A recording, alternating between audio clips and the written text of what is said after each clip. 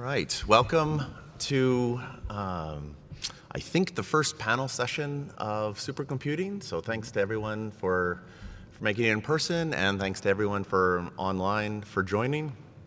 Uh, this session is titled Beyond the Hype, Is There a Typical AI ML Storage Workload? Um, and so we're really hoping to delve into the question of storage and AI, and where are we, and where are we going? Uh, we have some awesome panelists that have uh, joined us uh, to answer all of those questions. And so hopefully you'll walk away knowing everything uh, you need to know. Um, we uh, unfortunately uh, couldn't get any of the panelists here in person. Um, so we, they're all online, as you can see, um, from the US and Europe. And uh, yeah, so anyways, thanks to everyone. If you have further on follow-on questions, I'm sure um, the panelists would be open to it, and you can contact us, and we can uh, you know connect you if uh, in some way or other after after the panel. All right, so my name's Dean Hildebrand, um, and I've been working in storage for, I don't know, 20 years or so, and uh, the last five years or so, people keep asking, uh, where is AI and storage going? So that was sort of my uh, emphasis or creating this panel and getting the people that know way more than I do on this topic. Uh, do you want to introduce yourself, Jay? Sure. So I'm Jay Lofstead. I'm at Sandia National Labs, and um, my history in storage isn't as deep as Dean's, but I've been working in this area for a bit more than 10 years now. And um, kind of the other direction that we've come at this from is um, with our IO 500 benchmark and competition one of the things that we've been trying to figure out is is there a way that we can represent AI and machine learning workloads in a way that is useful for people rather than just something like 4K random reads that we don't think really maps to anything. It's just something that everybody measures. So we're really trying to explore through this panel and interactively with both the panelists and you in the audience to find out what is it that actually makes up an AI workload and is there a way to actually benchmark for these things so that we can actually make our storage systems work better for them? Um, so the way we're going to operate uh, the panel is um, we're going to start off with some introductions and then uh, iterate through uh, each of the panelists. will have five minutes to talk about you know their viewpoint on the subject.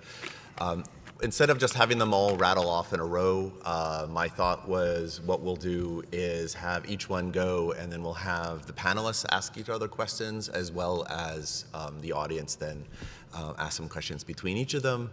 Uh, and we have an hour and a half, so I don't think we'll be limited for time. And then at the end, once we've gone through all the, the five presentations, then uh, we'll open it up for just Q&A generally and, and hope to have a good conversation after that. Um, so please feel free to, to ask questions. Um, so in order to ask questions, we have the Slido in Hub. So please open up your laptops uh, if you'd like, uh, especially, well, you already have them open if you're online. And you can ask questions there. Uh, Jay specifically will be making sure to pay attention to those questions. Um, but then if you're in the room here, uh, we do have a wonderful student volunteer named Robert. Yeah. Robert's uh, doing part B. Oh, there he is there in the corner. He has an actual physical mic. I know that sounds crazy. Um, and he's going to, so if you raise your hand during uh, uh, the question period, he'll run over and offer the mic, and then uh, what you say into the mic will go straight into the Zoom, and the panelists will all be able to hear it. Um, so um, we haven't tried this yesterday, so you know, be patient, and hopefully we'll uh, get all this, uh, the tech working together. Um, so let me introduce uh, the panel. So first we have Fei Wang, uh, who's the group leader of analytics and AI methods at uh, the Scale Group over at Oak Ridge. Um, we have Abdul Salim Salem, uh, who's been at Google for over 14 years and is now working in the ads ML infrastructure group as a, a software engineer. Uh, we have CJ Newburn, uh, who's a principal architect at NVIDIA and one of the co-architects of GPU Direct for Storage. Um, we also have Anthony Kougkas, who's a research assistant professor over at Illinois Tech. And uh, he's someone uh, that has spent a lot of time looking at I.O. patterns and uh, storage. And we have Ana Klimovic, I hope I got that right, I'm assistant professor at ETH Zurich and um, leads the Efficient Architectures and Systems Lab over there, and is part of the team that created tf.data, uh, which is the uh, TensorFlow data processing framework. And so, you know, the goal with this panel has really been to try to get some users into the panel, some actual practitioners who are building the systems, uh, and as well as some researchers to give their um, perspective on the, on the topic. So I think we have an awesome panel today. Um, anything else to say before we get going? Uh, no, we just had a question in the Slido about the audio being too loud. Is it still too loud and distorted? Was that virtually or was that in I'm assuming in it was room? virtually. Oh, we've got a question mark for, oh no, somebody else.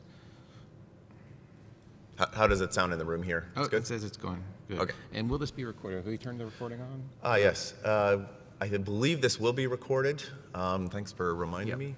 And is that started? Yep, Yeah, okay, we that's are recording started. this, yeah. So this will be available for replay into January, I believe. Yep. Yeah? Yeah. Okay. Awesome.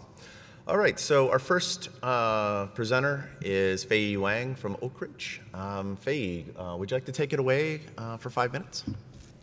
Sure. Can you hear me? Yeah, it sounds Yeah. great. All right. So thank, thank you, Dean and Jay, for the introduction, and I appreciate the opportunity uh, for being here. Uh, since the preference is no slide, I, I have some talk point, but no slides.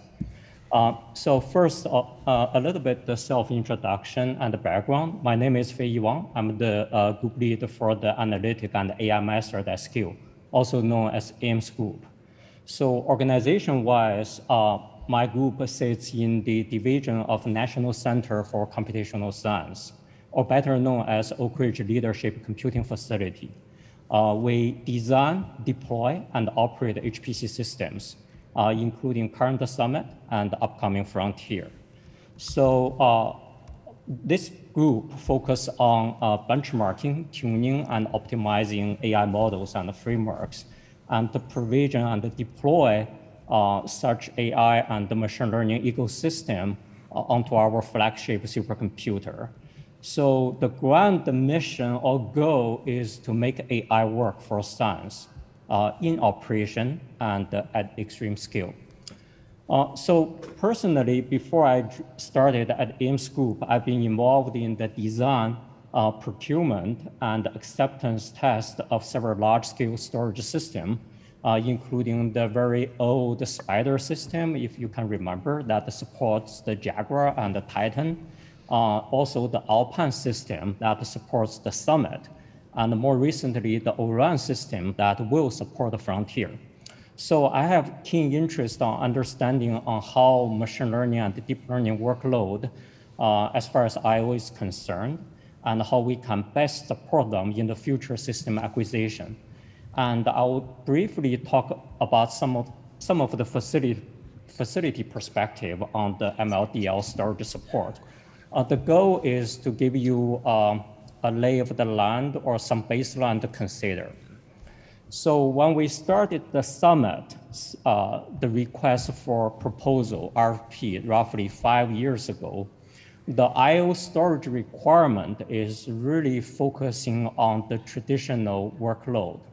We have checkpoint restart requirement, we have data sharing requirement. For example, it has to be a, a centralized file system.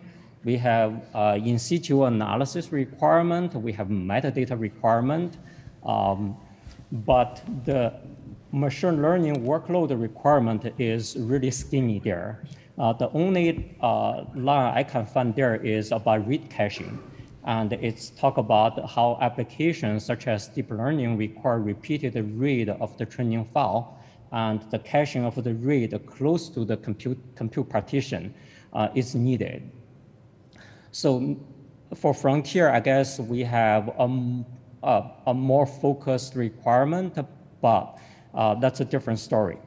So what we end up with on Summit, as most of you know, is a, a big GPFS file system with 250 petaflo- uh, pet, uh, petabytes and with uh, a 2.5 terabytes per second. Per, well, that's a peak performance.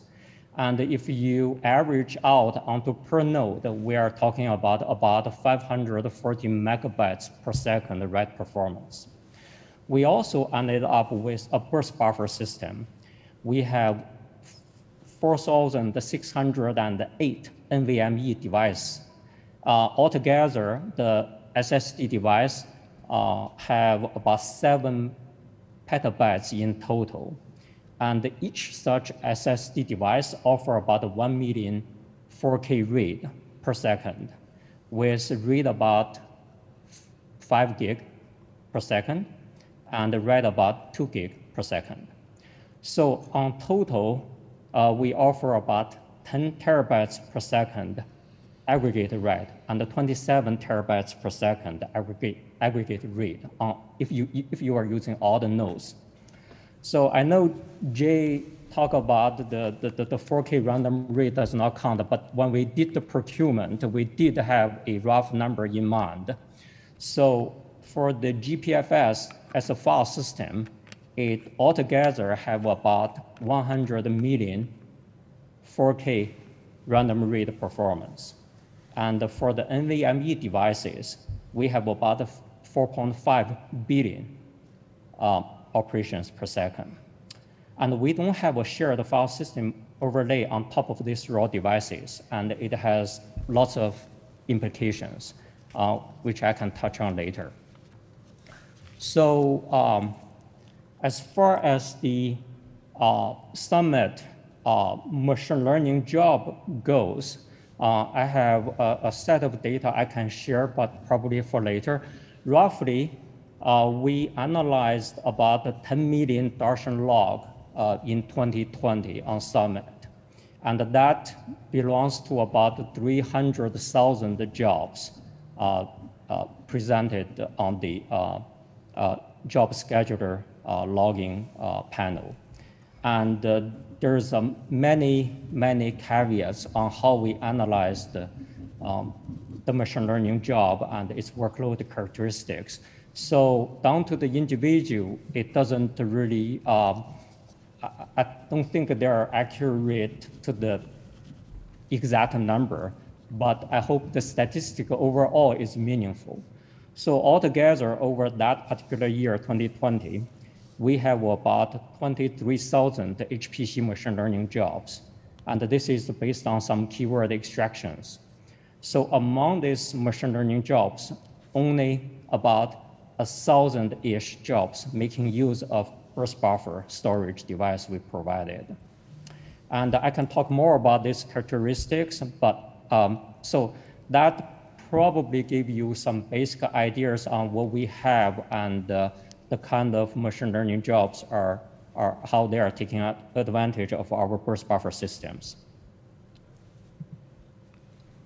Um, I think the last thing I want to mention is um, even though we have altogether about 27 uh, GPUs on Summit, but most of the machine learning jobs run on less than 45 nodes. And that's not the number of GPUs, since each node has six GPUs. So you can multiply 45 by six. So that's roughly the, the scale we are looking at. Um, so that's it for me now. If you have further questions, I, I hope this provide a, a rough uh, look at uh, what the summit is offering today.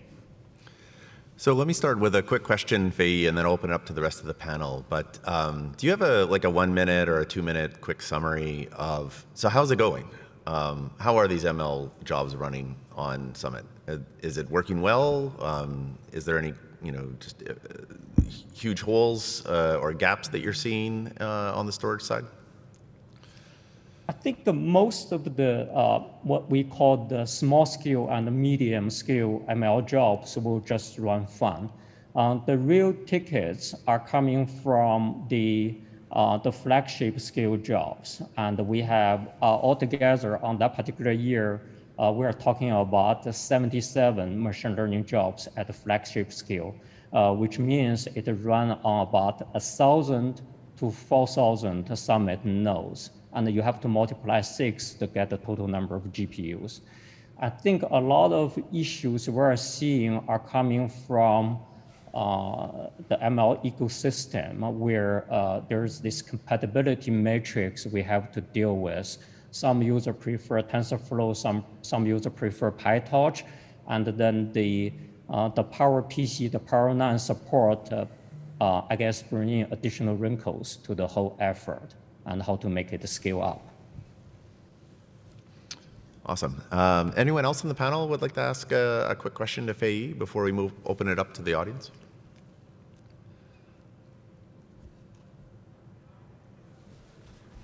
No, we're good. Are you directly involved in much of the work that's related to the data management and orchestration that's being done um, there at ORNL? Can you repeat that? Sorry, I missed. Sure. Uh, there's quite a bit of effort, I think, uh, at ORNL and looking at uh, related relations with other DOE data centers for sort of federated data management and uh, how that's being choreographed throughout the data center. Uh, are you very involved in that? Uh, not particularly, but I'm, I am aware of uh, there, there is this um, effort of uh, having a cross facility and even cross center uh, storage provision. Um, but I, I, don't, I don't think these are ML uh, in particular. I think it's part of it, what I heard. Awesome. Uh, I have a question. Um, do you guys um, use any profiling tools for, you know, these running jobs? Like, are you collecting information about how the job did on top of the machine? And if yes, like, are these gonna be maybe available to the public, or are you guys doing any analysis about, you know, characterization of behavior of, of you know, both the storage, but also the GPU and the compute? Yes, uh, that's a that's a very good question. Uh, we do. Uh, so from the storage and the I/O perspective, the primary workhorse is uh, Darshan log. Um, but Darshan log has its caveat. For example, at the deployment of Summit, the Darshan we deployed uh, will require you, uh, first of all, um, uh, we uh, do a module load by default and load it uh, uh, when you log into the system. So unless you intentionally unload the Darshan, so there will be the I/O captured for your job. But I do know that some really large-scale uh, runs, uh, such as Gordon Bell runs, they don't want to pay any of the performance penalty, however slight that might be. So in their job script, they do a module unload Darshan, so we do not capture that kind of workload. Secondly, in the earlier version of Darshan, and uh, if you are, if you, your I/O occur um, outside of the MPI init, MPI finalize, and that won't be captured uh, as well either. And another caveat is that if you, um, let's say you, you, you transfer data between the uh, parallel file system and uh, node local device that is SSD and through the regular uh, copy or whatever, whatever other data transferring tool. And that won't be captured by Darshan either. So there's a lot of hopes in terms of how comprehensive we capture the, uh, the I.O. workload that translates into the machine, uh, machine learning job as well. And on the compute, uh, we don't have a system-wide uh, um, you know, profiling tool, but we offer uh, a number of uh, from more intrusive to less intrusive instrumenta instrumentation tools for you to profile. It's really up to the user. And we are trying to figure out a way to provide a Darshan equivalent for the compute profiling, but that's remain to be seen in production. Awesome, thanks. Uh, let me open it up to the, the audience. Um, I don't see anything on Slido at the moment, but anyone uh, in person here like to ask a question? Uh, to Feiyi specifically? No, we're good at the moment. All right, why don't we move on to the, the next speaker? So from HPC scale to what we like to call Google scale, uh, Abdul, take it away. Hey, can you hear me? Yes. Uh, thanks, Dean and Jay. And uh, I'd first like to thank all of you guys for having me here. Um, you know, it's a real privilege to be here and among such great company. And this is a topic that I'm very interested in, so uh, I'm excited to see where it goes.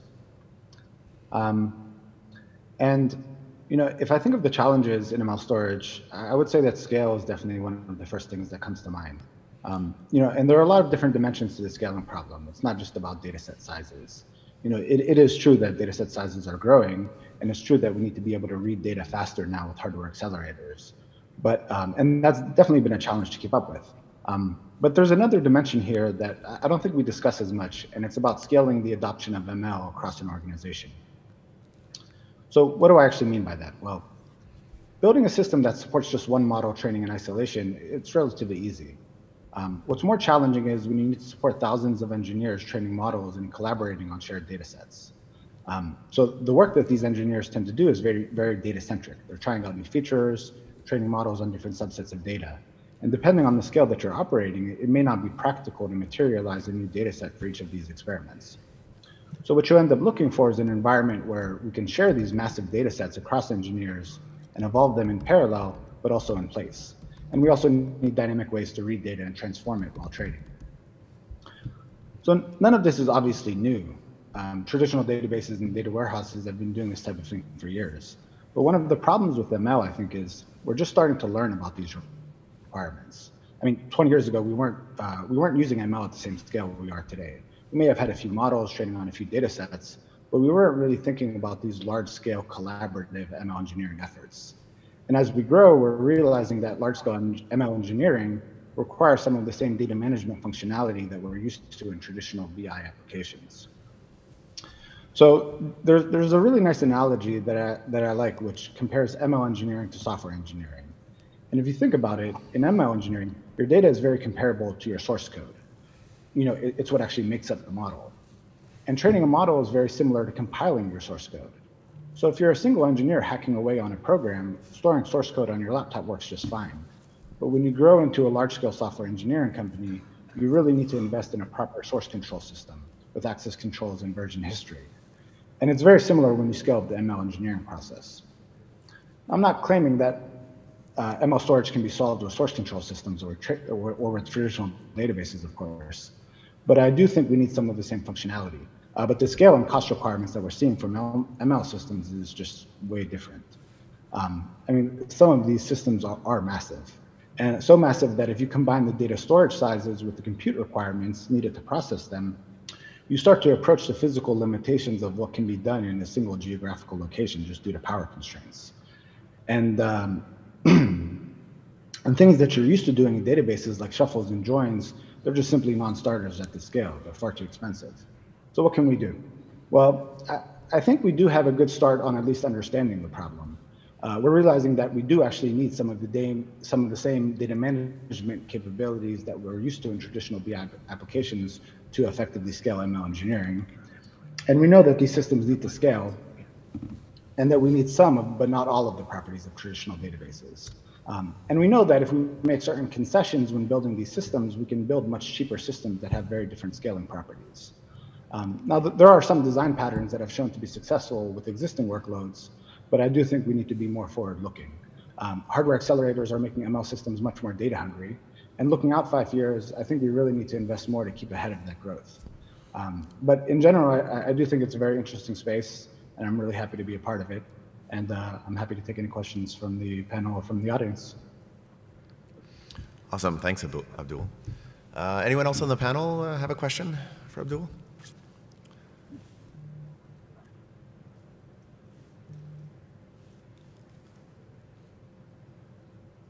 Ana, you looked like you were about to ask something. Yeah, I think it's I, I what you said really resonates with me. Um, uh, this uh, needing to share data sets or kind of make services for um, f- so that engineers can collaborate and um, i'm kind of wondering do you think the challenges are uh, more in like data discovery and uh, recognizing which data sets are being shared or more so in the like uh, data ingestion pipelines how data is pre-processed or even like the models themselves um, where do you think there's kind of most opportunity to make a difference um, Yeah, it's a good question. Thanks. Uh, I, I actually think it's full stack. Um, you know, sharing data is hard, um, both from a discoverability perspective and just realizing, like when, when doing ML engineering at this scale, um, you know, and, and having that many contributors to a shared data set, you know, you, you, naturally have problems with discoverability and just, you know, what are the right schemas to, to, uh, for your data. Um, but, but, but I, I, think that it does actually pose uh, challenges on the storage systems themselves. Um, like, uh, you know, going back to like the challenges that we're seeing just in ingestion, um, the fact that, you know, the, there isn't enough compute on these uh, hardware accelerators to do a lot of the transformations and joins that we need. Um, and and even seeing you know like just at this scale like uh, bottlenecks in, in fabric and spinning disks. Um, so I, I think we'll need investments throughout the stack. All right, thanks. Uh, so, so there was a question from the Slido. It says storage often lags behind other hardware development. Do you think there are software solutions that can help with this? Hmm. Um, yeah, I, I, do think there there are certain things that we can do to work around some of the bottlenecks that we're seeing. Um, I, I, would say like some of the things that come to mind are uh, looking at um, cheaper compression algorithms. Uh, like uh, you know, there's often a a trade-off between CPU and and uh, disk time. Um, so so that's certainly something that we can look at. Better interchange formats uh, a, a, lot of times where we are wasting a lot of time just um, marshaling and unmarshaling data in, in, in, really bad formats um, and, and, and just better better better data layouts. Um, you know you know there's a lot of work on in these parallel file systems when it comes to striping data. Um, uh, things like that are the top things that come to mind. Would anyone else on the panel like to tackle that question as well on uh, software uh, overcoming the, the, the sort of lag of storage hardware? All right, uh, let's open it up. There, oh, go ahead. Sorry. I think there are things that we're definitely going to need to do to um, sort of manage data and uh, the tiering of making the stuff that's actually important be accessible. So um, rather than answering it so much, maybe I can ask this question back to you, Abdul, is um, if, if anybody is going to have more data than they know what to do with, it's Google, right? Um, so then it seems the question is not, you know, can I get the data, but which data is actually important and how do I make that data accessible? So this notion of trying to, and there, there's no way that you can have a human in the loop as you're processing all that data and analyzing the data. Um, so do you care to make any comments on the process of figuring out how to assess which data is of greater value or is uh, more likely to be used by uh, given demographics and then um, making that better accessible, uh, for example, uh, using tagging techniques and so on. Um, and, uh, and, and how do you see, I'll, I'll compound that question if I may, how do you see what you're learning at Google, because clearly you've done a lot in that space, uh, is becoming being able to be more accessible to the masses for all these other data centers that aren't just going to be GCP. Sure. Um, so there, there's a few questions there. I'll, I'll try to um, get at them one by one. Um, I, I, think I, I, definitely agree that um, you know when looking at efforts around reducing costs and, and trying to work around hardware bottlenecks, um, thinking about you know, really thinking about what data is important to train on is is is, is really critical, and um, and not all data is created equal. Um, so um, there's a few ways you can look at it, um, and you can you know build heuristics and, and try to determine you know statically what data uh, provides the most value to a model. But um, a, a lot of the like some of the scaling challenges comes to repeatedly reading the same data over and over again from many different experiments, you know, across all of the models that you're training. So like there are methods that I think we can do both in, in, in transferring some of the knowledge that we're learning from, from one model to another without having to read uh, all of the data and retrain on it from scratch. And, and there's also methods where um, you can use models to you know, choose what data is was most valuable for that model for other models to train on. Um, and and th- those those methods I think are, are, are, fairly interesting and transferable to to other people. Um, you know, uh, uh, doing ML. Um, and uh, and I, I, think there was one more question. Uh, how can what you've learned and are doing at Google be made accessible to all the other people doing data centers that aren't just running on GCP? Right. Uh, well, I, I think uh, panels like this, probably first and foremost. Um, I mean, we do encourage publications. Um, uh, I, think there is there there is a, a lot of collaborations in the space uh, across the industry and, and with academia. So um, yeah, I, I, guess maybe I would turn the question back around to you. Uh, so let me, that's awesome. Let me open it up to the, the floor as well. Um, I see a hand uh, there just for one question. Um, so you briefly mentioned the use of compression as key to data management strategies for ML. I was wondering to what extent lossy compression strategies have been considered, um, excluding, for example, principal component analysis and other kind of model or embeddings where it's more on the more heavily tied to the exact domain of the application, like just lossy compression in general applied in these areas. Mm.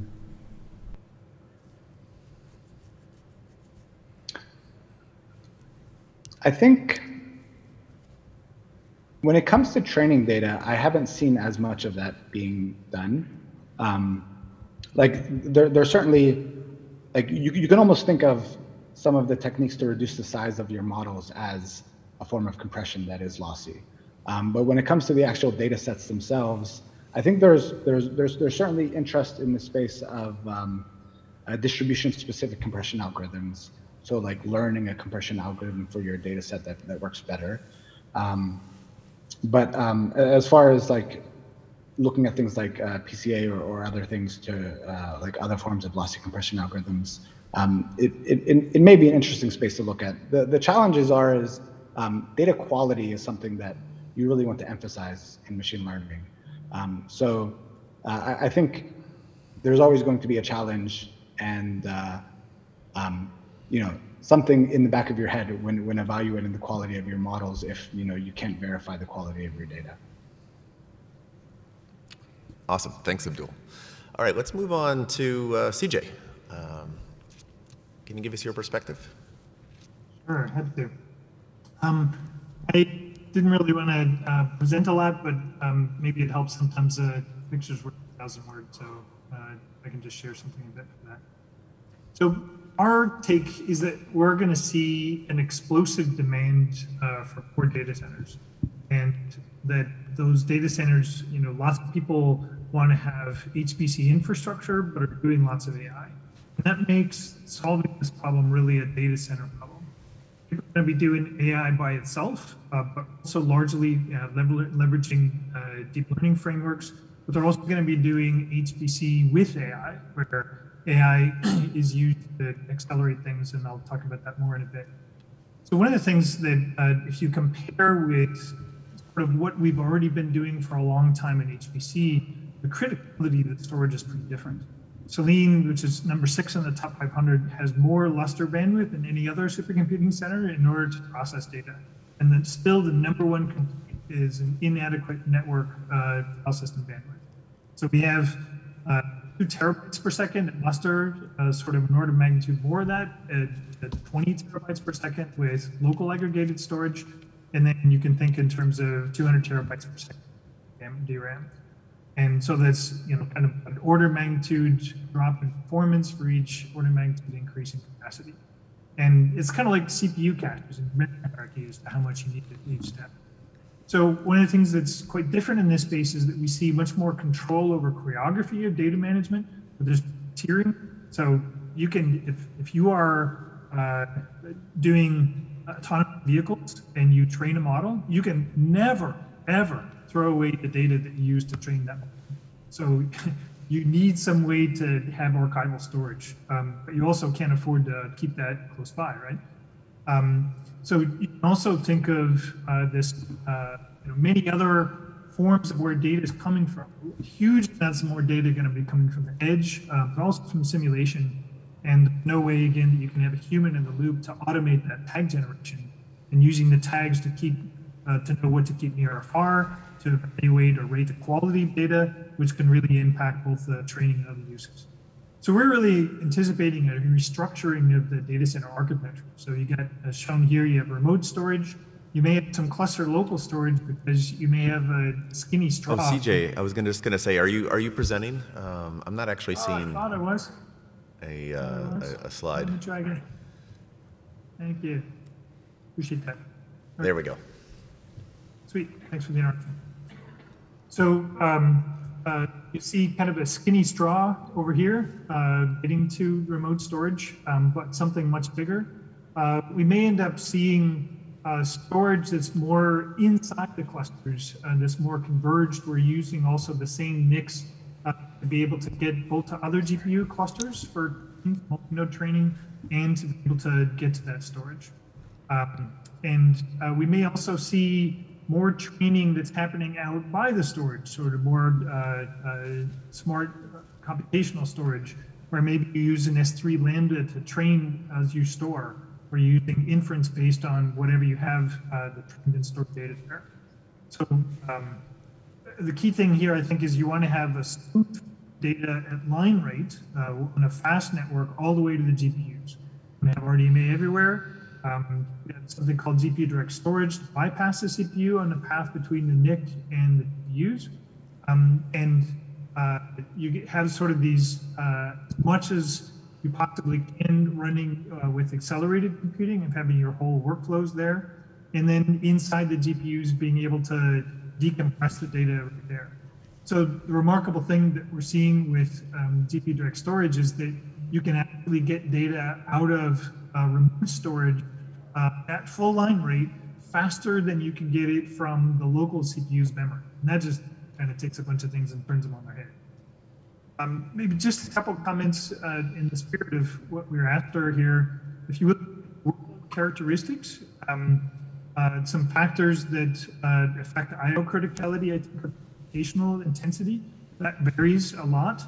Um, uh, whether you can manage to make all your accesses asynchronous versus bulk synchronous, and looking at the interplay between uh, the network uh, being used for DL training uh, versus uh, for storage. So we see, uh, just to kind of wrap up with this, um, you know, it, it, used to be that workload was just kind of a simple one and done with HPC, but now we see these very complicated workflows uh, that have, you know, might be at the edge where you're doing sensor and process control, where you're using inference, where you're doing training as you go along, where you have some simulation to look at what you're based on these other inputs, what's going on, and uh, post-processing the data uh, before you get to output. A lot of the things we're seeing is a lot of this takes visual form. And so a lot of the data is uh, essentially in visual form because it's easier to process and we have a lot more acceleration available for being able to do that. Um, and so not every workflows can look like this, but many of us are used to thinking of AI as just, you know, ah, you got to look at a bunch of images and do a bunch of training.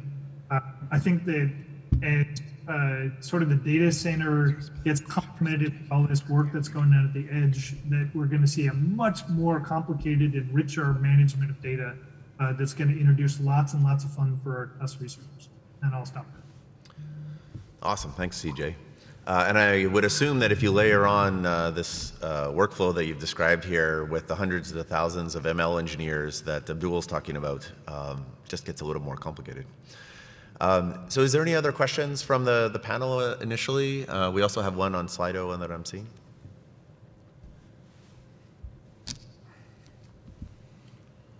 Uh, no, all right. Let's Let's move to the Slido one. Jay? Okay, so the question is to CJ. What is the difference between cluster storage and remote storage in terms of purpose? Sure. Um, I think that there's an opportunity that you have for uh, being able to uh, get higher, more controlled bandwidth where uh, locality exists.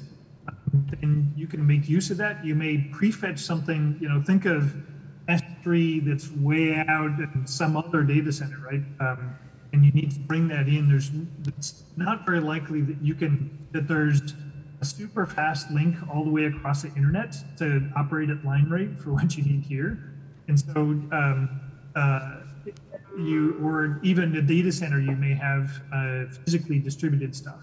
But being able to have something that's cluster local, um, that uh, you can minimize the interference, you can maximize the bandwidth, and uh, it may be more specialized or pre-filtered or data managed, um, both for what you get into the cluster local storage and what you can cache in your local storage. So think of it as just a, a, typical memory hierarchy of what it is you can do where faster stuff that's better managed or more carefully managed is closer to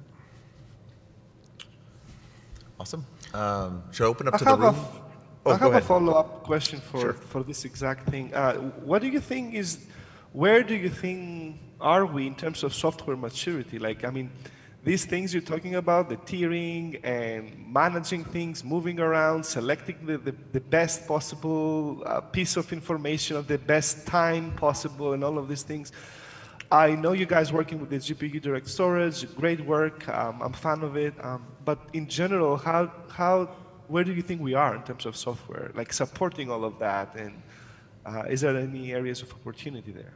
So my tongue-in-cheek uh, answer is that there are a lot of folks that would say that we've arrived. I totally don't believe it. I think that we're very much in infancy. I think we're just barely getting going. Um, and I don't think we need lots of really smart humans uh, to be able to point AI at a lot of these problems. Um, and I think that the place where I'm always a big believer in driving tech with solving specific problems. So we as a company, we have this drive AV stuff, right? We learned a lot about data centers by just managing that stuff, uh, dog fooding our own uh, work. Um, we have, uh, you know, many different data centers that are spread around the world, including the stuff that we're doing with gaming, right?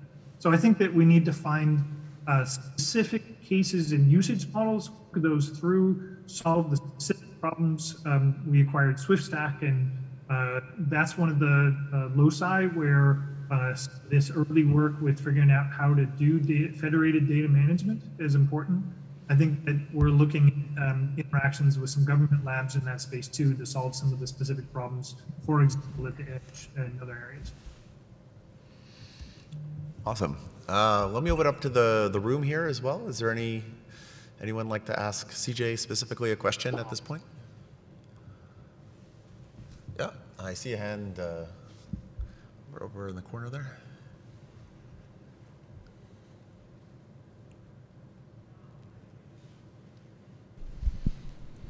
Hello. So, local storage.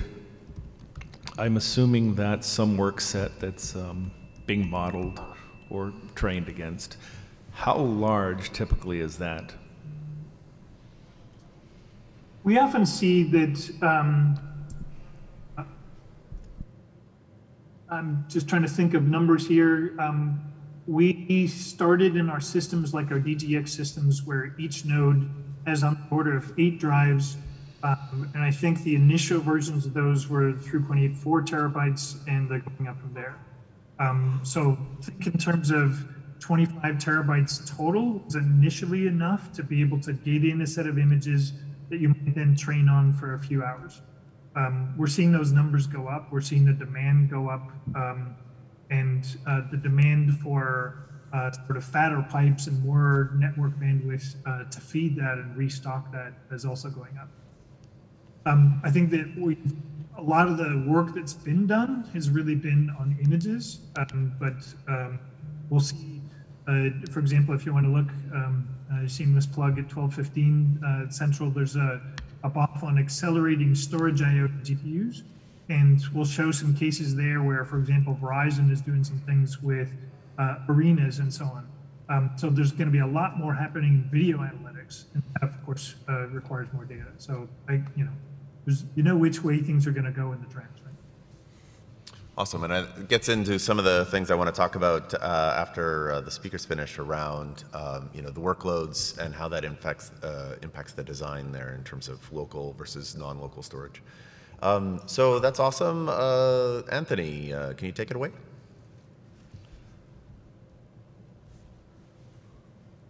Yeah, thank you very much for uh, the opportunity to be here. Thank you, Dean. Thank you, Jay. Great company. I've been learning as well today. Um, can you guys see my screen? Yes, we see it.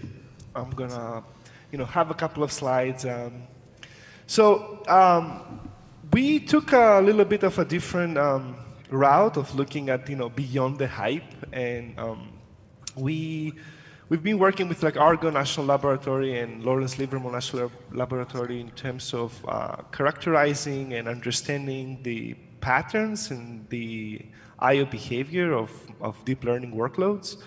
Um, again, do we think this is a revolution? Do we think this is entirely new? Have we seen this before? Uh, how much stress these, the, you know, these workloads put on, um, on the storage? These are like typical questions we wanted like to look into and um, try to get some answers. This is ongoing work. Um, we had a publication um, in CC Grid about this, uh, and there are a couple of interesting things. So one is understanding um, you know, the behavior of your workload, and, and is this going to be uh, an activity that you do specifically on your workload, and then what kind of optimizations can you do on it? What's the impact of those optimizations? Um, so, as before, that there are a bunch of I/O benchmarks out there, we set to understand a, a, a, collection of applications and see if we could build up um, a, a benchmark tool that you can just simply stress test your systems, do a change, run it again, uh, do a different pattern, do a different interface, uh, these kind of things, because we believe, A, tools like that should exist um, in order to stress test your machines, your, you know, your libraries, your middleware, um, and things like that. So, and so there are you know, two dimensions here. First, understanding what the applications actually are doing, and then getting that into like a tool or a benchmark that can actually be used in the community and, and, and see you know what kind of results we can get from these things. Um, I'm going to just you know summarize like some of the key findings we, we found um, during this study and we're still learning about it. Um, first thing is I/O should not be studied um, in isolation. Uh, and what do I mean with that? Because we often see you know, applications overlap I/O, uh, and that's more crucial uh, in terms of um, the behavior. Like if, if I/O is hidden behind computation, why, why you know you don't care? Like you need you need to understand that these are you know different things there, and profiling tools. Um, they're kind of complicated in a sense of what kind of granularity and level of information you can you capture. Like um, Feiyi mentioned Darshan, and yes, we use Darshan here. We also use Recorder. Uh, we use a bunch of uh, CPU profilers and, and you know memory footprint profilers. And if you see all of this plethora of, of data you collect, um, it's quite hard to put them in a timeline and understand you know, is it the framework, TensorFlow, doing something on your I/O? Is it the storage system doing something? Is it the real the application itself? Does the application use a middleware library that changes the, the pattern from what the application is doing? So profiling different components needs to be combined. Uh, we need to be able to capture uh, you know, different components and different uh, on this layered architecture and, and try to put them together to understand their behavior. Another thing we've seen was IO request sizes from applications do not uh, always um, guarantee the transfer size. So for instance, we saw in cases of uh, HDF5 being used, uh, applications issued like 60 kilobyte I.O., but the actual I.O. over the parallel file system was just four kilobytes uh, because of what the HDF5 library is doing, and uh, specifically chunking. Um, and then we, other things we've, we've noticed, TensorFlow data pipeline um, does allow, uh, you know, good sequential I.O., um, and that could benefit parallel file systems. In our studies, uh, we, we used Lustre uh, in both machines, in Argonne and Livermore. Um, but, you know, I, I suspect uh, similar parallel file systems would, uh, you know, have similar benefits from sequential I.O. Uh, so yeah, it's an opportunity there. How can we just uh, make sure we look at the, the pipelines, the ingestion pipelines, and the training pipelines in terms of I/O, and, and make sure that you know we issue big chunks of sequential I/O over the parallel file system. Uh, large scale applications also uh, maybe a misconception between scientists or, or, or, people that use that.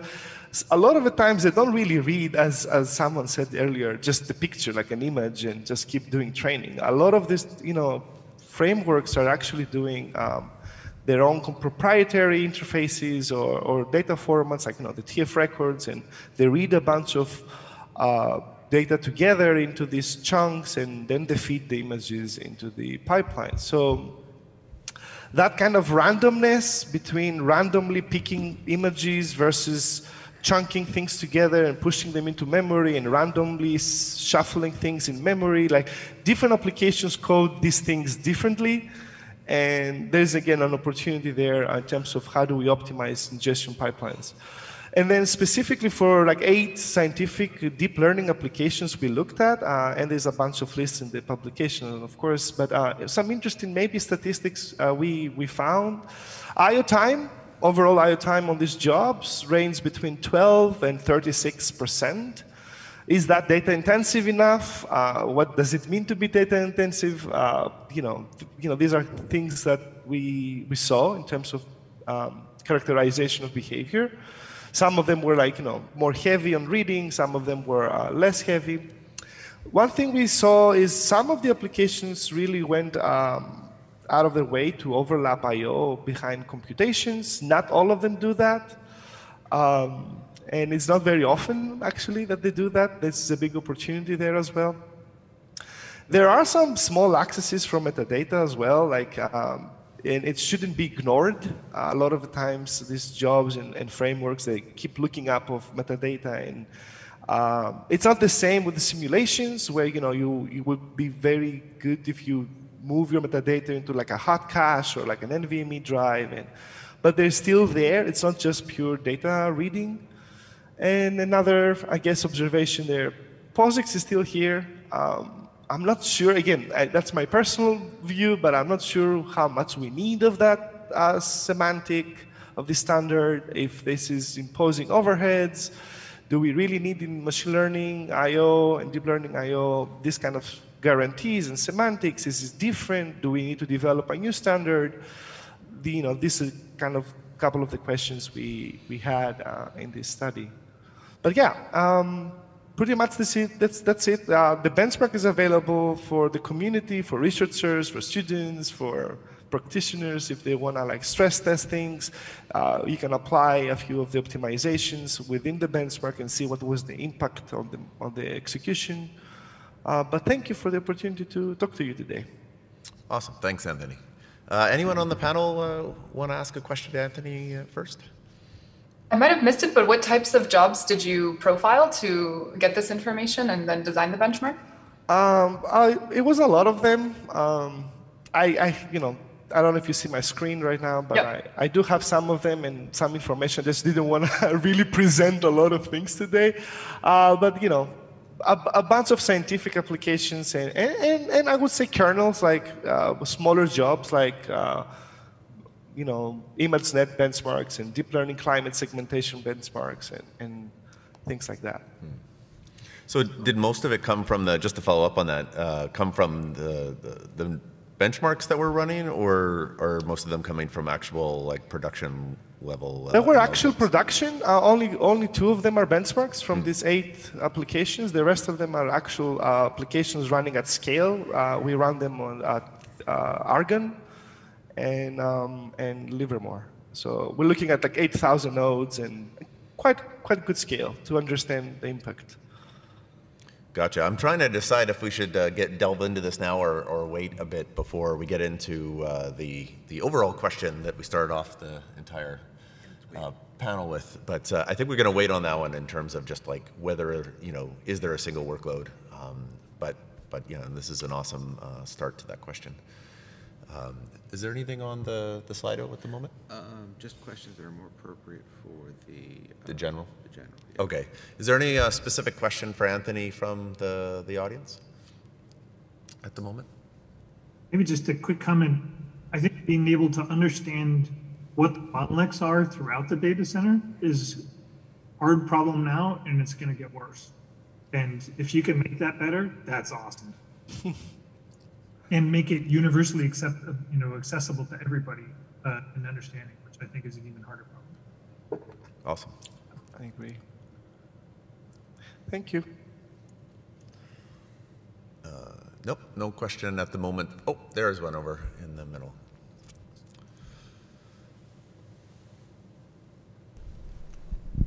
Hello. So, do you think there is not enough initiation to fix or optimize this problem in the frameworks like TensorFlow, TensorFlow or PyTorch or X, XYZ?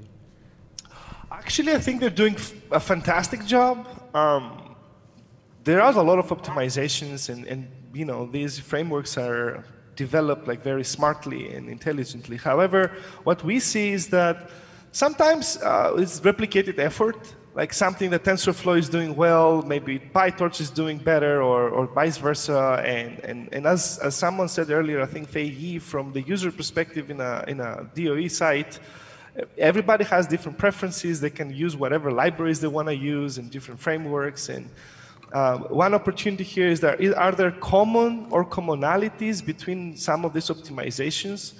Uh, you know, prefetching being like an obvious one. Like, does does the framework allow like a smart prefetching and tiering? No.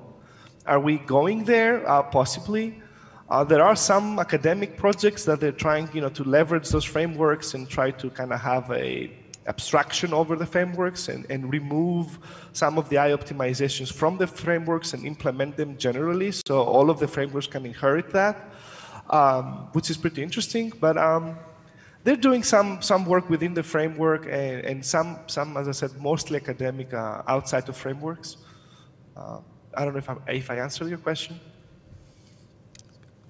Good. Yeah, definitely. Uh, thanks. All right, so let's move on to our last panelist. Uh, Ana, please take it away. Okay. Great, thank you. Uh, so yeah, just a bit of context, I guess. Before joining uh, ETH Zurich as an assistant professor, I spent some time at Google, and I was collaborating closely with the tf.data team, which is the input uh, data processing library that's native in TensorFlow. Um, so maybe I'll talk a bit about sort of uh, some insights from uh, from a fleet-wide analysis that we did across millions of machine learning input data processing jobs uh, at Google. And um, this kind of goes towards the reason why we were doing this fleet-wide analysis was kind of trying to understand to what extent um, ML training jobs are bottlenecked on input data processing. And as uh, CJ uh, commented, measuring this is, is not necessarily uh, necessarily easy, but it does help to have one framework um, that is used by a, a, large chunk of jobs. Um, so a lot of TensorFlow jobs at, uh, at Google are indeed using tf.data. And so this gave us sort of a way to, uh, to profile them and see, uh, see what's going on. Uh, and we, we found that actually, if you look at uh, total cycle spent in an ML job, a large portion, uh, on average around 30%, go towards input data processing. Um, and so uh, it's it's a significant amount of compute time that's uh, being spent, and it's not just compute cycles, but memory bandwidth and just power in general that's that's uh, going towards input data processing and machine learning. And this really emphasizes the um, the point that uh, you need to optimize uh, that part of the stack as well when you care about end-to-end performance, because indeed we saw that quite often you can be bottlenecked on input data processing. Uh, we also looked at sizes of data sets uh, and concluded that yeah, these data sets are are large, and the jobs that spent uh, the most resources are ones that whose data sets uh, definitely do not fit uh, in memory. Even if you could assume one terabyte memory on a machine, uh, it definitely goes uh, beyond that scale. And uh, in terms of like common I/O patterns observed and so on, we found that in general there's quite a bit of, of repetition of not just uh, reading the same data, but even pre-processing it in the same ways. And I think this comes often from cases of uh, you're doing something like hyperparameter tuning or model search where you're tweaking the model, but actually your input data pipeline is the same. Um, and so tf.data actually does have caching operators or snapshot operators that users could insert uh, into their pipeline to reuse data across epochs in a job or even across jobs. Like you could write a snapshot or a materialized view basically of your input pipeline to storage. But when we looked at how frequently those ops were actually being used in practice, it was quite low. Like I think caching was 19% of jobs were making use of it, and um, snapshot at that time was, was uh, quite a bit less. And so I think overall, some conclusions um, were that in general, people using TensorFlow and, and PyTorch and so on even at a place uh, like Google, where they are expert uh, software engineers, um, they're not necessarily yeah they're they're it's hard for users to be aware of all the different things that are impacting the performance of their job. And so i think it's really helpful if we can build services that automate a lot of these decisions especially things like resource management uh, how many cpu cores to, to use to, pr- uh, to process data for a model that's using this many gpus like the, that ratio that you need um, so that input data is not a bottleneck and also that your gpus are being well utilized um, while also not leaving extra CPUs lying around. That sweet spot is, is really different for each job, for each model, for each hardware config. Uh, and so it's going to be difficult for users to, to get it right. Um, so I think, yeah, one of the things that I'm excited about and we're working on uh, as part of um, my, my research at, with my group at ETH, but also in collaboration with Google, is kind of building um, a service uh, on top of uh, like extending the what's called tf.data service, which kind of disaggregates input data processing across uh, multiple nodes and uh, makes scaling and caching decisions automatically for users. Uh, so hopefully this goes a little bit also towards uh, what Abdul was saying, where I think it'd be cool for this kind of service also to be capable of things like data discovery and and so on. But we're kind of in the early stages still. Awesome. Thank you. Yeah. Yeah, thanks, Ana. Um, any questions from the panel initially?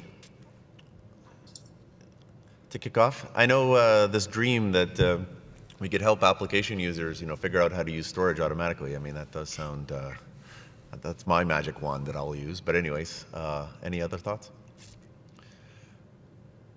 Yeah, maybe I'll elaborate a bit about what I mean by service here. That uh, basically you would just define your input pipeline and uh, the execution of the input pipeline, like the compute and therefore also the reading from storage, would, would happen through uh, a, a, cloud service essentially, uh, which would decide how many workers to use and uh, could also decide actually where where that data that you're reading should be uh, stored. So maybe it starts in something like S3, but uh, it's propagated uh, to uh, to faster storage, like uh, the cluster storage, for example, that CJ referred to, um, based on not just how this job is using it, but potentially multiple jobs that are using this shared service.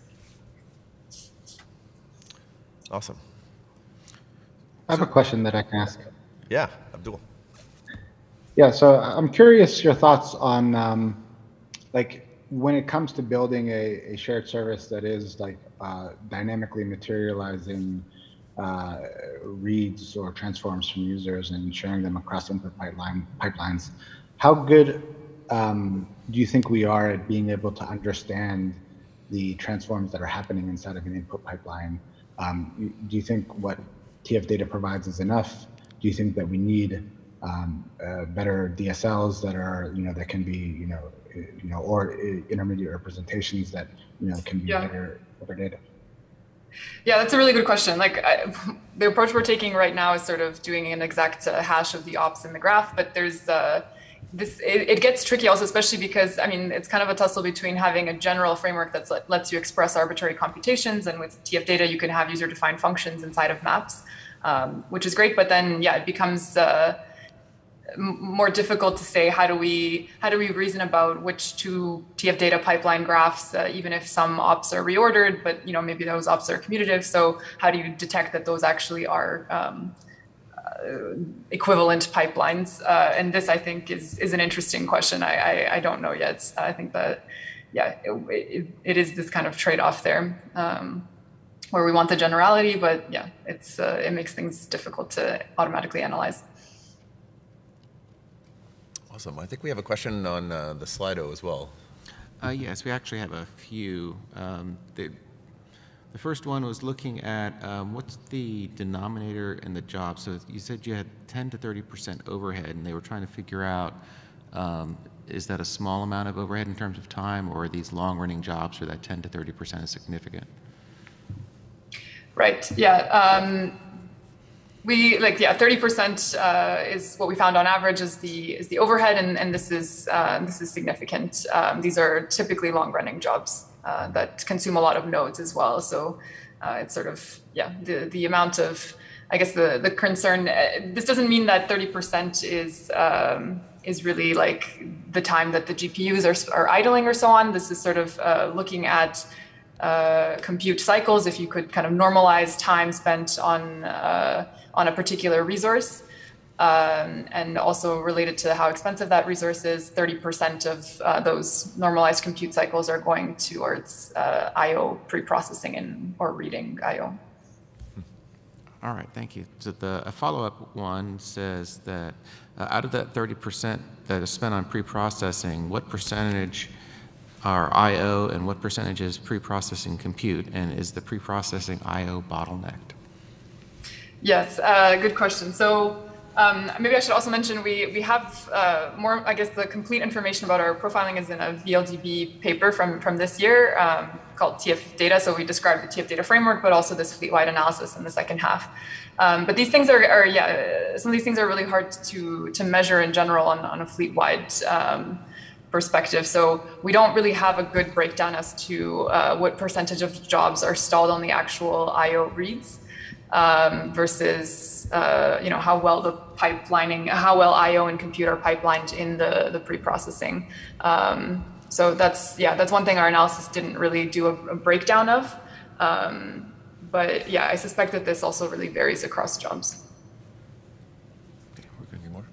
Uh, anyone from the room at the moment? Oh, I see in the back there. Okay. Yeah, hello, uh, Morris Riedel, University of Iceland and Jülich Supercomputing Center. Thanks, Ana. Um, you have reflected, I think, very good discussions about hyperparameter tuning and the whole pipeline, which many people forget to do regularization and validation. My question would be going to this service that you mentioned and your research. Um, we use RayTune, for instance, it has many algorithms for this hyperparameter search. Do you use existing tools like RayTune and, let's say, um, make that better? Or is your solutions kind of open source that you know other computing centers could work with this, or is just Google closed source in the moment? And then I would have, if the panel allows, two orthogonal questions to this, which would be the first, how you see in the future ONNX playing into this, so a standardization of all these models. Um, and then the second would be if you scale up, Obviously, um, in our research at least, the batch size matters a lot. So if you have large batch sizes, the accuracy drops like hell if you do more than 100 GPUs. What do you do to cure that? Thank you very much. Sure, thanks. Uh, maybe I'll go for the first question and then we can open it up um, to everyone for, for the other two. So um, regarding the service that I mentioned, we're actually building on top of the open source tf.data code base. Um, and tf.data uh, already has something called tf.data Service, uh, which allows you to distribute input data processing across workers. So this is not really at all specific to hyperparameter tuning jobs or anything like that. This is more um, like if you were running RayTune and if you were using um, TensorFlow as a framework plugged into Ray, then the an IO uh, library you were using was tf.data. You could use tf.data Service and um, and then what we'd build on top are cache automatic scaling and caching policies that um, try to automate some of these difficult decisions for users. So it is open source. Uh, I'll open up. I, I, uh, I'll admit that I kind of didn't catch the second part of the question, but um, did the panel hear it or does they want it repeated? So I think one question was about the ONNX format for models and what the impact of that is. Uh, standardizing Precisely, model. yeah. ONNX is this open network exchange. I mean, basically a standard, if you will, uh, for exchanging between PyTorch, TensorFlow, and, and all of that in the future may be interesting. And the you know last question was more around the batch sizes, which has some impact in this I/O and uh, data structures, I think. Or large batch sizes. I mean that that is a key problem here, not not the small batch size. Would uh, anyone else um, from the panel like to tackle that one first? Or Ana, if you'd like to. I don't know a lot about the, the ONNX format, to be honest, but my impression is that uh, it is about the, the models themselves. Um, so I guess it would be good to have some kind of equivalent, uh, more data loading frameworks that can be used across uh, different frameworks. And I mean, actually, with tf.data, you could um, you could have a tf.data input pipeline uh, and use read that from a PyTorch uh, like uh, program that's doing the model training. Um, in, in, general, you, you can do this. Um, and tf.data Service actually makes this even easier because you really disaggregate the, you have a service for input data processing and you have your training clients, which could be PyTorch jobs or TensorFlow or anything else. Um, so yeah, I guess uh, I sort of see it as it's it's nice to have frameworks that can interoperate at the I/O processing as well as the model side. But um, maybe someone's more familiar with the ONNX format and can talk about that. Maybe I'll, I'll uh, up level the con conversation a bit to the using multiple frameworks. I don't know, Faye, do you um, have a thought there in terms of like how Summit is being used, and do you have problems optimizing for a variety of different frameworks? Um, yeah, I'll make a quick comment on the batch size first. Uh, so uh, we actually uh, have a few staff members in my team are looking at the try to um, increase the batch size for the distributed uh, deep, uh, deep learning. Uh, of course, when you have a large batch size, it's beneficial to the I.O. system or the storage because it's more efficient. But on the other hand, you run into this convergence issue and the lower accuracy issue. I don't believe this is a solved question yet. I think this is largely in the uh, uh, research and development phase. Um, but if you are interested, I can certainly uh, introduce uh, a few folks in my team that are more specialized around that. Uh, I think, uh, Dean, you asked for a second question regarding the uh, heterogeneous uh, framework. Is that correct?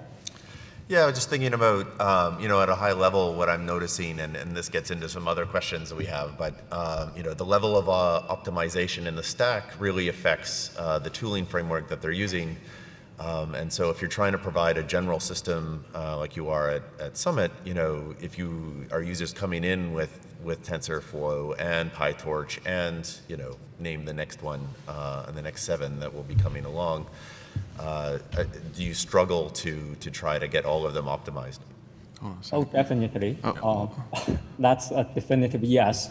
Yeah. So uh, usually, um, when we, uh, we, we do support both PyTorch and the TensorFlow and whatnot other frameworks, or as usually requested, for example, uh, uh, there, uh, there are other frameworks proposed by Microsoft, etc. User want to use it, we have no choice but to try to make it scale up.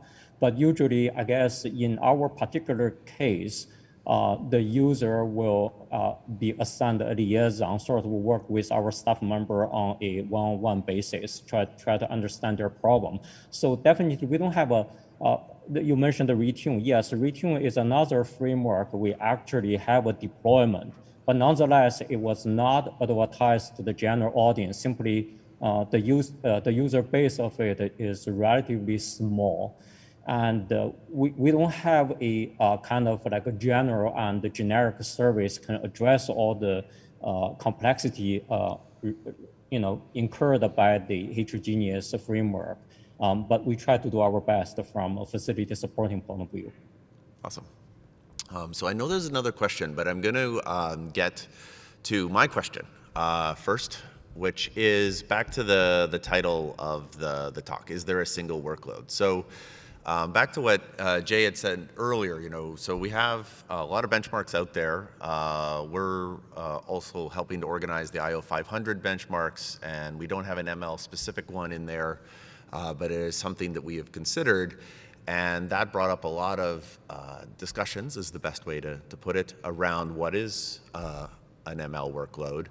And when I talk to most people about, well, I want to do ML, you know, benchmark testing, they usually forward me to ResNet. Um, and I, you know, I want to stress the storage system. And I'm going to throw it out to the panel initially is, do you think the benchmarks we have for evaluating um, ML storage uh, is basically, do we have the right benchmarks? Um, I'm going to throw it to Abdul first because I think I know the answer that he's going to say, but um, I, would like to hear him say it. I saw a few people shaking their heads, so I, I think they may agree with me here. But I, I, I think, in my opinion, no. Um, uh, there are a lot of different, um, like depending on what you're doing, the, the ML lifecycle, you know, ha has a lot of different um, phases. And like if, if you look at where we're spending the most uh, computational resources and, and even disk time, you know, it's not in running these models that uh, we already know what the data is and, and we're just like piling through the data sequentially and, and training models. A lot of it is, you know, iterative experimentation with data. Um, uh, and, and, and, and, and manipulating data on this, trying to find new forms of uh, ways how to how to access our, our data sets. So, you know, these you know produce very heterogeneous workloads, um, and uh, I, I, don't think there's there's easy ways to capture that um, in in a specific data set. Uh, maybe CJ, I'll, I'll go to you next. Sure. Uh, we think that this problem is so important that even for internal work, uh, we have basically uh, have a dedicated team that's identifying uh, common characteristics, uh, well, basically a, a, meaningful set of surrogate workloads. Uh, we then take and characterize and try to boil down to their essence. They're carefully curated and profiled. So we have a, whole team that's doing that, and there are many of them, right? So there's no one answer there. Maybe I can just um, yeah, squeeze in one quick comment too. One of the things that were that, um, which I think is where you're headed with this. What are some of the key characteristics of the patterns? One of the things that we see is like rain rates all over the place. And then the question is, how do you contain that? And one of the most useful things we've found to do is to basically say, thou shalt use a one container you can have, because commonly we see 100,000 4K files. Right? That's the most common pattern. And so saying you can put anything you want into this 1K, or excuse me, one megabyte unit, um, and we'll prefetch that or manage the locality of that thing or whatever, and you can do all the random reads you want to within that. That just makes things, makes life so much better. And without doing that, your data center is going to grind you off. So can you dig into that just for like 30 seconds? By one container, do you mean um, just like a, a group Data of... container, not a... Oh, I see, inside the framework. Execution container. Gotcha, gotcha. Sorry, I meant, meant, to make sure that I said data in front of it. um, uh, let's see, maybe I'll open it up um, now to the, the audience. We have, uh, since we have about 10 minutes left. Uh, I see there's one in the back there.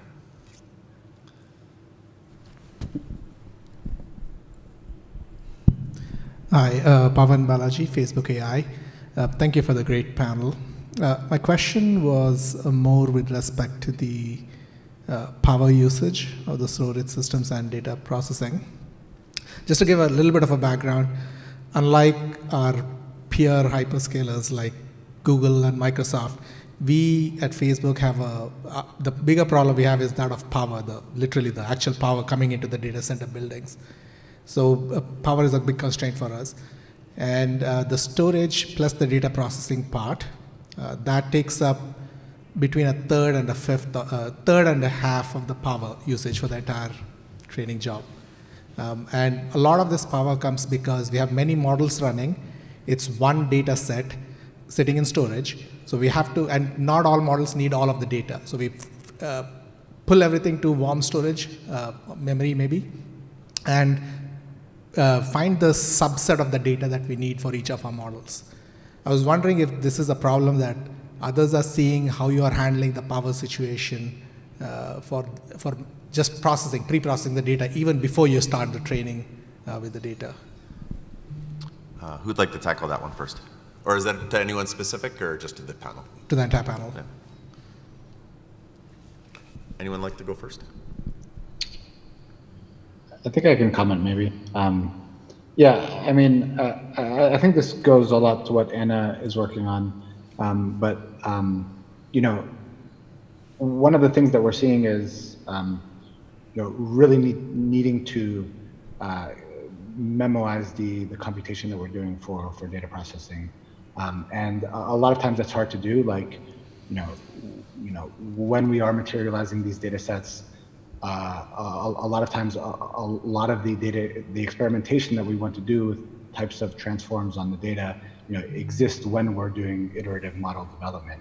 Um, but you know, this is something that I like to call late materialization, where you know a lot of the materialization decisions happen late in the model training pipeline, and I, I think investing in a service that can actually share these materializations um, across models is something that you know is is is necessary for for scaling up ML engineering.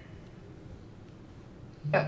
Might also be interesting to kind of uh, be able to analyze pipelines and split which parts of the pipeline augment data, like inflate it versus reduce it uh, by doing some kind of filtering and so on. Because if you can filter the data early on and then do the uh, and do that close to storage and then uh, do the operations that might augment data uh, and inflate the, the volume of it uh, close to where you have the training nodes, that, that could also help.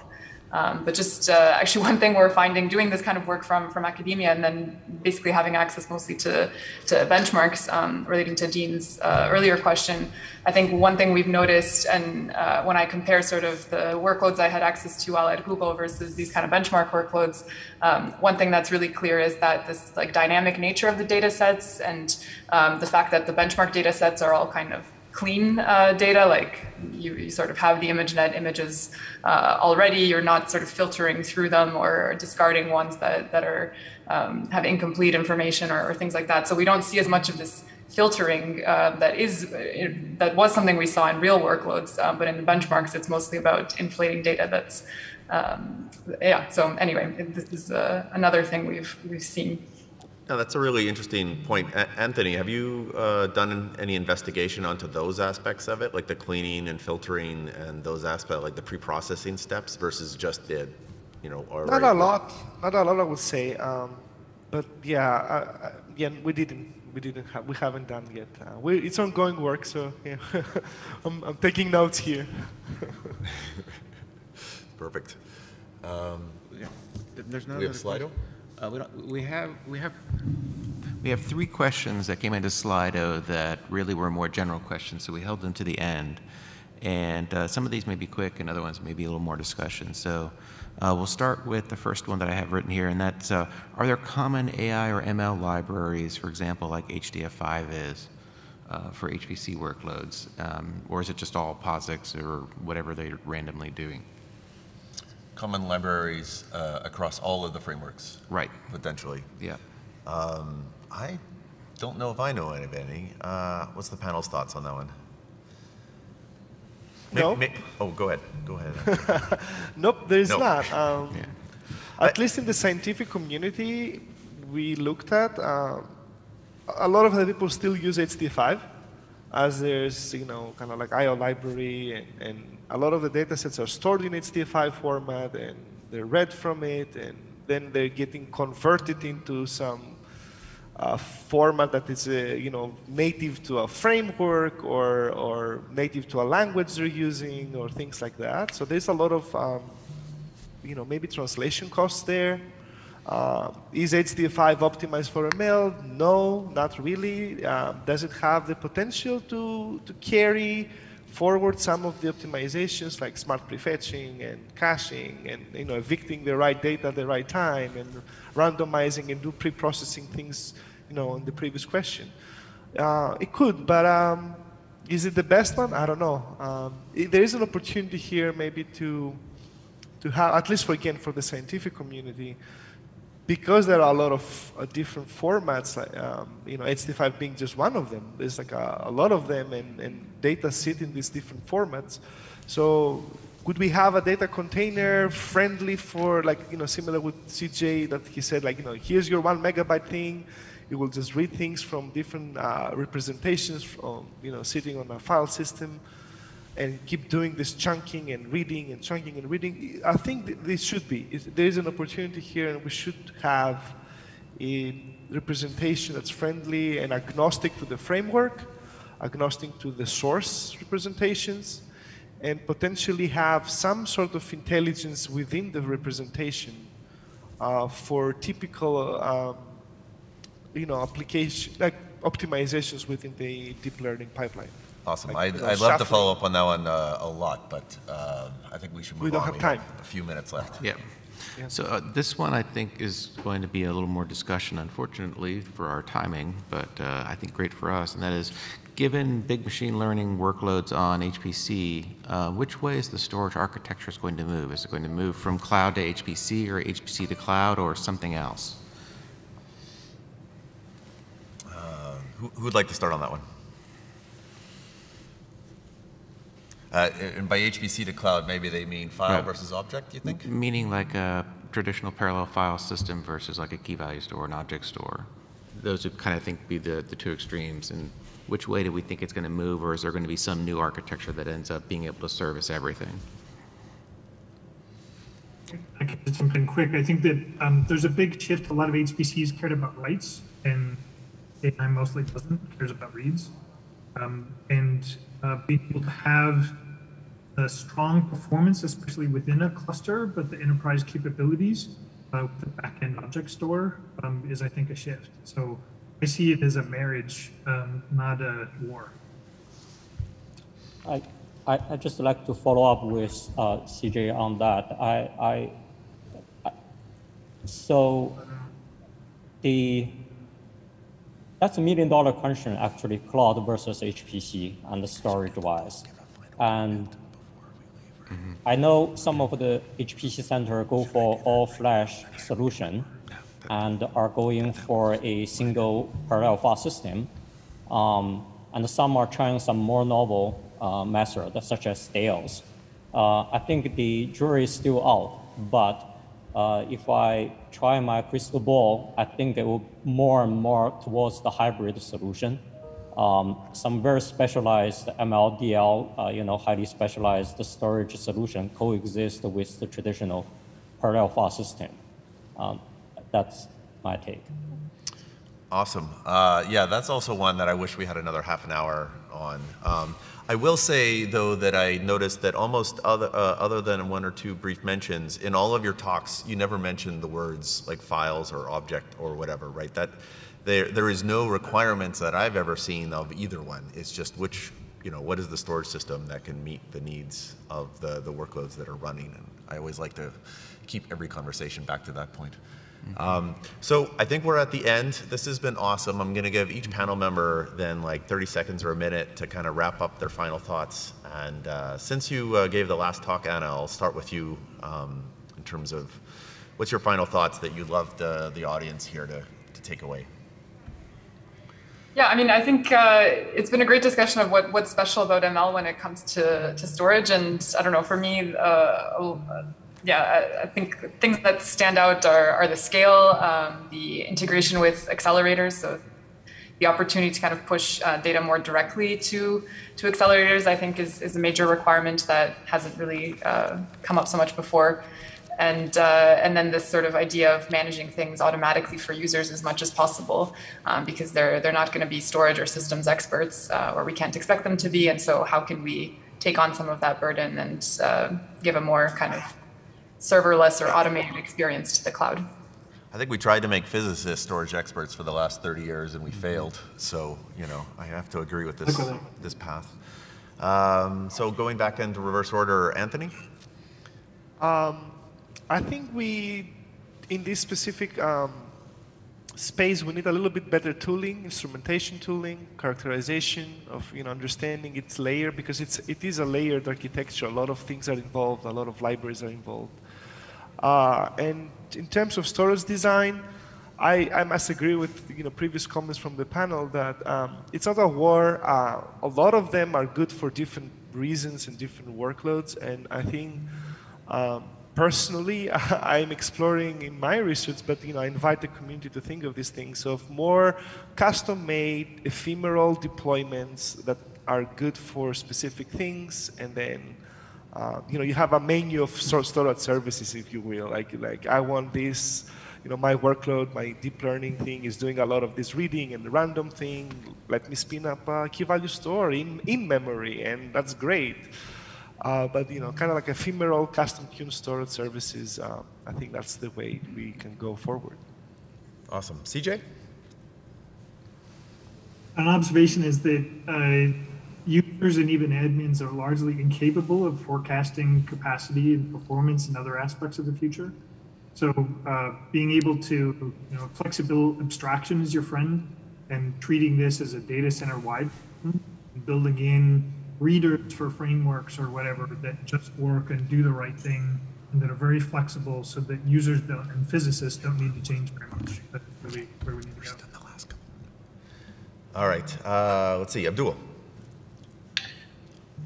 Um, yeah, I, I, think all of the work that you know people on the panel are doing is great, and um, you know I, I, think we're seeing a lot of advancements in hardware acceleration to um, you know with the idea to really push our ability to do more and more ML, and I, I think it would be a shame if we were unable to take advantage of that because you know we're unable to to feed data fast enough. So um, you know I, I, definitely think it's an important space. Uh, I agree that um, I would really like to see more framework, framework agnostic solutions um, that can be used across frameworks and, and, and reusable across um, uh, developers. And, uh, and yeah, um, so I, I encourage uh, more uh, investments in the space. Uh, awesome, and last word goes to you, Fei.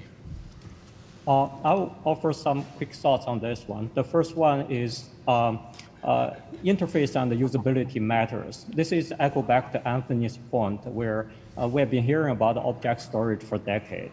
Um, still, POSIX rules on the ground. And uh, I think our burst buffer is a little bit underutilized, uh, and to a large degree, I attribute to that the usability issue. Um, second point is the uh, uh, IO is first, and also the last our user will complain. Um, by that, I meant if your job hangs, if you cannot do an LS, you will hear the flooding tickets coming in, just complaints about it.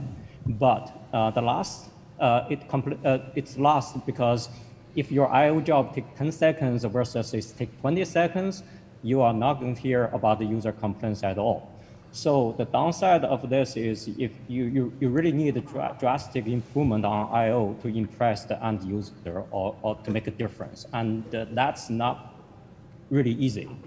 And uh, the last point I want to make is uh, this is also echo back to the uh, one of the earlier questions asking whether or not the data is available or what kind of data is available from the center. I think the on this point is operational complexity is often underestimated. Uh, so uh, we are very much like to uh, have open collaboration and we can share our data.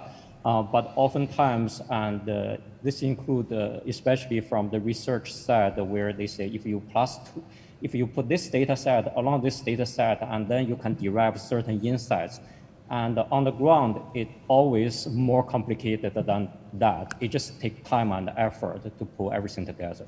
That's all.